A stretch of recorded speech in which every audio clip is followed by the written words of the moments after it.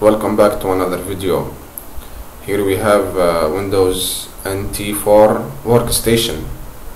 And it might be old or something but I believe that there are so many people that will be interested in what we're gonna have do in this video. And what we're gonna have here is the installation and the setup of an FTP server on Windows NT4. Windows NT4 came maybe around 1995 and uh, some people still have some computers that are with such uh, operating system. So this video will help them set up an FTP server on their computers. And such thing will help them also transfer data from uh, and to that computer which is running Windows NT4 for those who still like such stuff retro stuff can follow along. You have nothing to lose if you watch. So stand by. First of all we will try to make this thing better.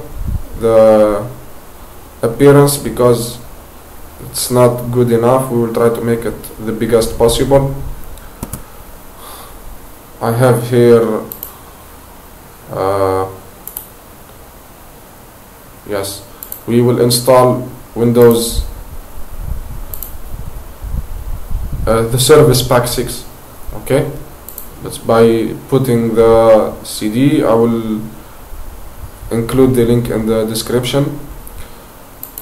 Because we will not be able to in the odd or install VirtualBox guest additions if we don't have the minimum thing Windows NT4 Service Pack 6 so we open this accept license agreement and install so this video also includes the installation of Windows NT 4 Service Pack 6 it's an update. I guess it's the last the last one the latest for uh, Windows NT 4 which is Service Pack 4 we restarted. By the by the time we restarted we put the edition yes guest additions so we capture enter pressing enter. To speed up the start process startup process. Or start maybe not startup. For those who still do not use Windows NT 4 they can use it in a virtual machine. The installation is simple. If you want me to make a video about it I will. Just tell me uh, what you will benefit from putting it is whenever you want a virtual machine that has some basic stuff this thing or this virtual machine although many functionalities from the plain other virtual machines like the ones that are running the new newer versions of Windows and Linux you will not have the, those functionalities here. So we will install the guest additions these things you, you don't need to do them if you uh, don't run your Windows NT4 from a virtual machine. Let's reboot. We're gonna see how the screen is gonna look better and we will be able to maximize this thing. Enter.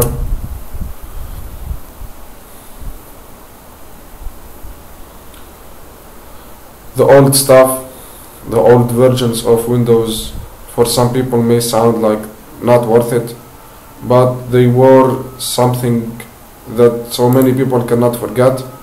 I've seen many people that still uh,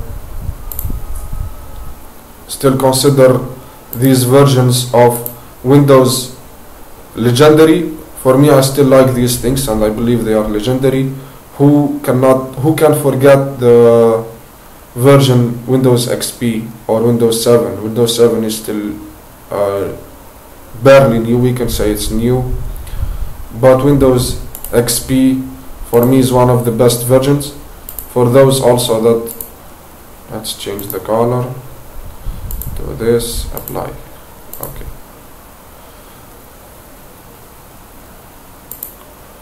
Yes. Okay we will keep up with this setting start. Now we will go to the installation of the FTP server control panel and then uh, network. Yes. Next start search. Next standby. Yep next here we put the CD of the installation which is this one. The install the CD of the installation that you use to install Windows NT on a virtual machine or on your computer you put it right now. So here we put let me check where it is exactly. Not this. So it's on E. So here it's E. Continue. Yep continue. Yes. Next. Next. Alright it's installed now. So make sure you have the ISO or the CD if you have uh, hardware this thing also can be applied on hardware. If you have that stuff make sure you have your CD your disk the hard, hard one hard copy. If it is on the virtual machine don't remove the ISO like this one. I have it already here. Keep it. Remove it when you want to re reboot your computer. Otherwise it's gonna take you to the installation again which you don't need. Here I'm using Windows NT4 workstation. I guess for the server it's different and I will upload a video about it soon. It worked for me before this process and I was able to set up an FTP server. FTP server is good here because if you want to set up a Samba server on your Windows NT, it's quite old, the version is quite old and so many systems still or cannot support it anymore, so it will, it will be useless to set it up. Let's log in again, okay. Okay, so now we go again to network okay never mind it. Services. And then we put odd. We look for FTP is here I guess. Yes peer web server.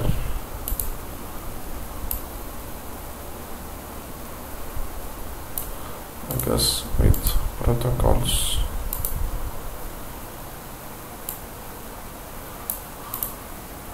services odd those micro Microsoft peer.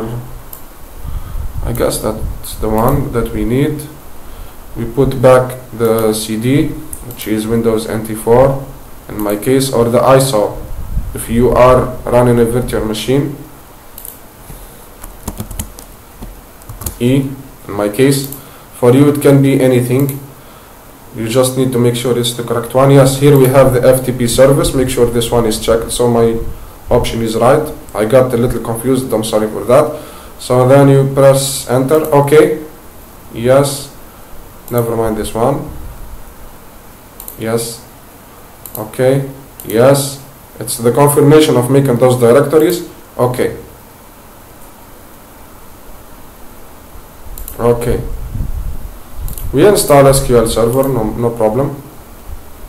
Okay, so here you, the, you get the message that the installation is successful. You press OK again, you close this, and then to control your FTP server, just go to settings, no, go, go to programs, sorry, and then Microsoft Peer Web Services, and then Internet Service Manager. You come here, the FTP, it's running, we can check our IP address. It's supposed to be somewhere it's supposed to be by using the CMD which is here.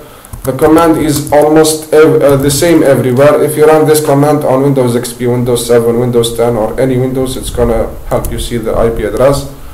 It's 10.0.0.77 in my case. So there is an extra thing you need to do here which is you press here service properties right click service properties sorry and then you come here you, you check the directories and then edit properties. Here you should you should uh, check mark or tick this one to make sure that you can uh, write to the directory of your FTP server. Here okay. And then okay again let's now try to connect.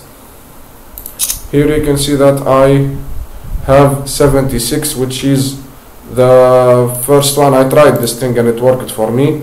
It's supposed to work again that's what we hope. I have the first installation I tried it here but I wanted to go with you step by step from zero. So that 176 is for this virtual machine and now 77 for this virtual machine which I recently or I installed right now. So we uh, this one we change instead of 76 we make it 77 enter. This one you don't need to change anything make sure it's anonymous because uh, for FTP you need to know that it's not secure enough like the other connections. We talked about SSHFS on this channel. You, you can go back and check yourself uh, for FTP you can go and check the ways to make it more secure. And Windows NT4 is not you're not supposed to use it as a system as much as you can because it's old outdated and more more vulnerable to the risks and malicious uh, software. So let's click connect. We're connected. Let's try to copy something. Uh, this one. Copy and put it here. Let's hope it works. Yes it's working. And then we go back to our system. Let me take you to the folder to prove to you that it was there. It's in inetpub ftp root and you have here aptoide latest which is the same file that I have copied here aptoide latest which is an application on Android. You can see .apk at the end. Uh, it's not gonna we, you can use it to transfer files. It's quite useful. If you have a computer an old computer on your in at home you have an old computer at home or you want to set up a virtual machine for file transfer as a virtual machine the risk is less. If it's broken and you set up an FTP server using Windows NT you don't need to worry about the resources. You can have a weak computer. You set up a virtual machine. It's gonna work with uh, the least or we don't need to worry so much. Let's say it has 2 gigabytes of RAM or 4 gigabytes of RAM and you want to set up a virtual machine. Windows NT4 is a good option especially if you want to transfer transfer data. If you have also a computer an old computer retro computer that you're so proud of and you have the right to be proud of because those were some of the golden ages of computers. Just like me I, I, I would like to have such computer. It's if I have one I will be happy to have one. I will install Windows NT4 on it. So for you, if you have also an old computer and you connected it to the internet, uh, sorry, to your local area network, and you want to transfer data, you cannot set up Samba server unless all your computers are old, just like your Windows NT4. The most or the common the most common way, the most common thing that still can be supported on your computer is an FTP server, and you are able to see almost all the steps that I showed you in this video, as well as the steps of installing Windows NT as uh, Windows NT4 SP6 and Windows or VirtualBox guest additions on your Windows NT4 system. We got the screen better. I don't know, maybe we can improve it more.